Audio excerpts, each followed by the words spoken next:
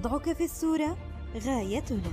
السلام عليكم مرحبا بكم في هذا الفيديو جديد سبق لينا وقلنا بأن راه واحد المجاعة جاية غتضرب الشعب الجزائري لأنه هو المستهدف رقم واحد وهو اللي كيعاني دائما من ندرة حادة في المواد الأساسية وهو اللي كيدير الطوابير وزاد كملها وجملها هذا النظام النظام ديال العسكر ملي بدأ كيقطع العلاقات والتجارة مع إسبانيا اللي شريك مهم في المواد الغذائية للجزائر. واللي ما عارفين الجزائريين الموانئ اللي كاينة في الجزائر ما يمكنش ليها أنها تستقطب باخرات كبيرة وهادشي اللي كيضطر أنها الباخرات كيدوزو لإسبانيا وعاد كيجيو في باخرات جزائرية صغار للجزائر. هنا إسبانيا من بعد ما الجزائر بدات كتلعب هذاك اللعب الخاوي ديالها ولات كتفرض على الجزائر أنها تخلص الجمارك على السلع اللي كتدخل لها وهادشي علاش غادي يلاحظ الشعب الجزائري ارتفاع مهول في بعض المواد الأساسية خصوصا اللي كتجي من أمريكا اللاتينية. قلناها لهم وخرج الذباب الإلكتروني عاوتاني وبدا علينا لا وكتكذبوا علينا وهادشي ما كاينش. حنا كنوجهوا الرسالة للجزائريين غادي يشوفوا بأن بزاف ديال المواد الأساسية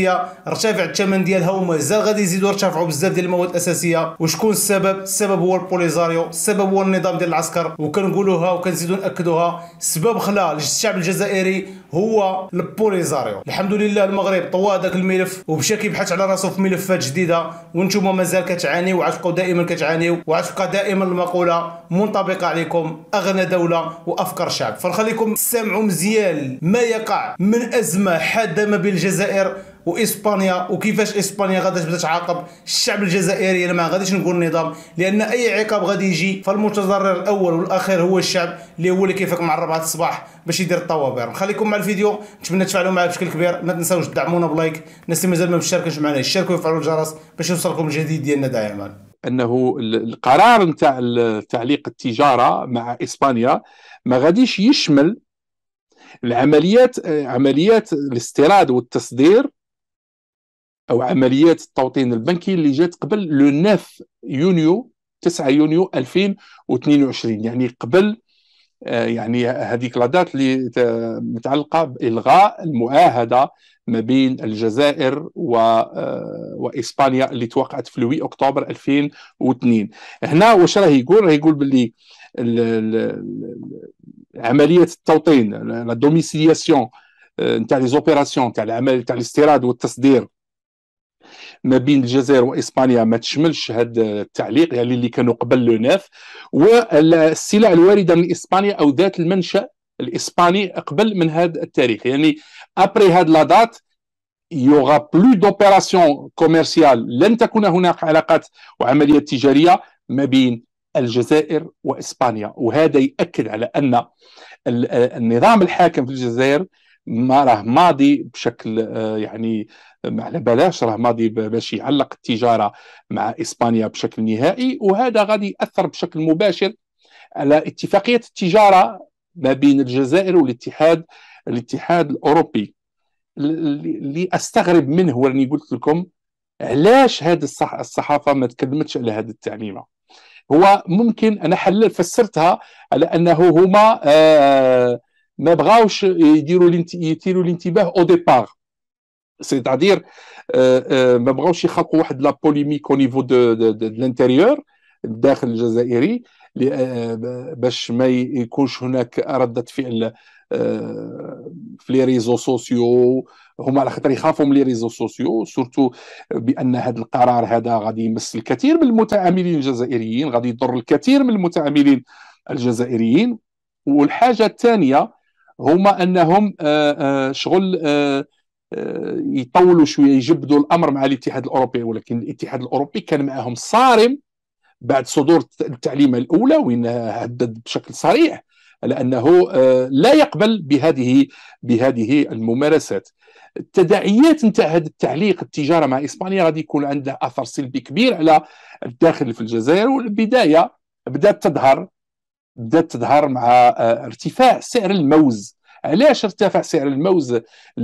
100 ألف دينار ولا 77 وعادي بسبب الدرهم المغربي 67 درهم مغربي أو 6.7 دولار أمريكي.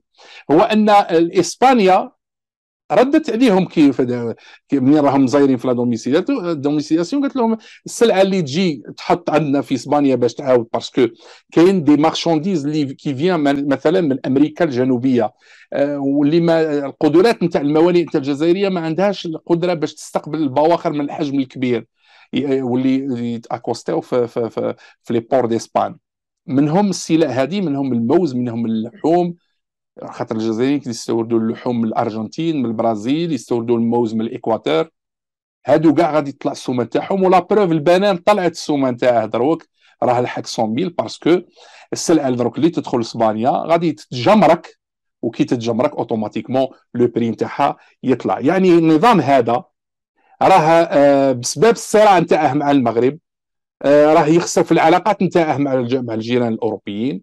مع إسبانيا بالأساس وراه غادي آه، يخلي الكثير من السلع خاطر ماشي غير البنان ولا ولا اللحم الجيري كانت تستورد بزاف الحديد الحديد نتاع البناء من الاسبان غادي تطلع الأثمنة نتاعه استيراد السيارات قطع قطع غيار السيارات كل شيء غادي يزيد وهذا غادي يأثر بشكل سلبي على القدرة الشرائية نتاع المواطن. هذه هي القرارات الخاطئة نتاع هذا النظام اللي ما اللي راح حاسب روحها راه راه شغل كي إسبانيا بدلت الموقف نتاعها وقالت باللي آه ندعم الحكم الذاتي في الصحراء المغربية غادي يعاقبها. هذا ما, ما كان عقاب لا والو. غادي الجزائر تتأثر كثيرا واللي غادي يتضررهم الجزائريون بالدرجة الأولى لأن كيشوفوا حجم الاقتصاد تاع البلدين لا يمكن مقارنة حجم اقتصاد الجزائر مقارنة بحجم اقتصاد اسبانيا حجم الاقتصاد تاع إسبانيا 1500 مليار دولار وحنا الحجم نتاع الاقتصاد تاعنا ما يتجاوزش 170 مليار دولار يعني تسعة ولا 10 مرات الاقتصاد تاع الجزائر.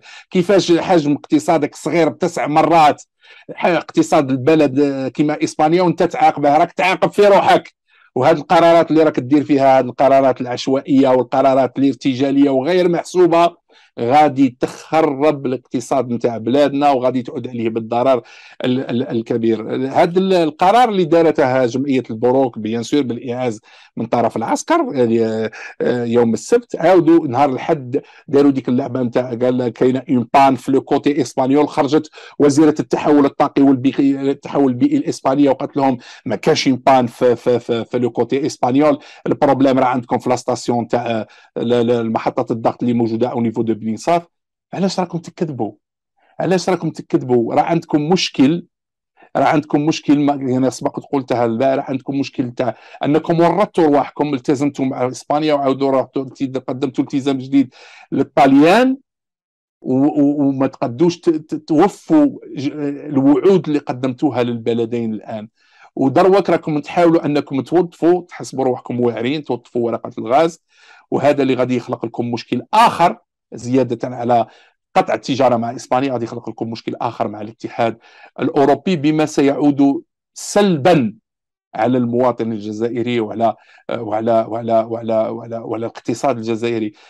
هل أنتم قادرون على تحمل التبعات هذه هذه القرارات هذه التصرفات اللي راكم تقوموا بها في في في, في, في مؤخرا مع إسبانيا. لا أعتقد ذلك لأن هذا الأمر غادي يعود بالضرر وأنا أنا أعتقد بأن الاتحاد الأوروبي سيلجأ إلى كاين احتمال كبير انه يطبق عقوبات كاين حنايا حنا مرتبطين بالاتحاد الأوروبي حنا مرتبطين بال بال بال بال بال بال بالاتحاد الأوروبي parce que نستوردوا من عنده بزاف عندنا مليارات الدولارات يتم استيرادها سنويا من الاتحاد الأوروبي. وبالتالي هذا القرار الذي تم اتخاذه مؤخرا من طرف هذا النظام الذي قلت لكم لا يحسب خطواته جيدا ستكون له تبعات خطيرة على الاقتصاد الجزائري وغادي يحسوا الناس بغلاء الأسعار بشكل كبير في كثير من المواد خصوصا وأن العلاقات اللي كانت كاينة بين إسبانيا والجزائر كانت علاقات كبيرة وكانت سلع كثيرة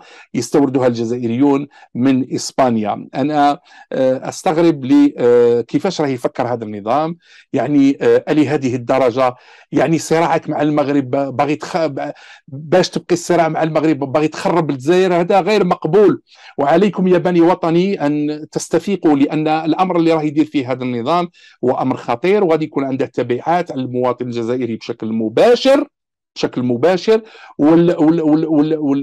والخطوات هذه اللي راهم يديرها يظن هو بأنه يضغط على إسبانيا لن تؤتي أكلها لأن إسبانيا القرار نتاعها الدائم لمقترح الحكم الذاتي هو قرار دولة ولن يتراجع الاسبان عن ذلك فوق من هذا مصالح إسبانيا في المغرب كبيرة بزاف شركات بالمئات شركات استثمارات ضخمه في المغرب وحجم التجارة بين إسبانيا والمغرب حجم كبير تقريبا ثلاث مرات حجم الاقتصاد بين الجزائر وإسبانيا. هذا بغيت يعني بشكل مختصر نتكلم لكم على التعليمة التي صدرت عن جمعية البنوك والمصارف المالية الجزائرية والتي أكدت على قطيعة الجزائر للتجارة مع إسبانيا مع استثناء ما تم آه، توطينه آه، يعني عمليات الاستيراد والتصدير قبل التاسع من يوليو أو السلع التي تقدم إسبانيا أو إسبانية المنشأ قبل من 9 يونيو 2022 أكتفي بهذا القدر وأضرب لكم موعدا آخر إن شاء الله في حلقة أخرى.